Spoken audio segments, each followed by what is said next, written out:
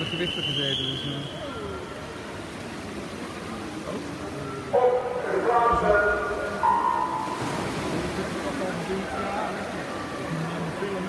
Ja, de andere keer.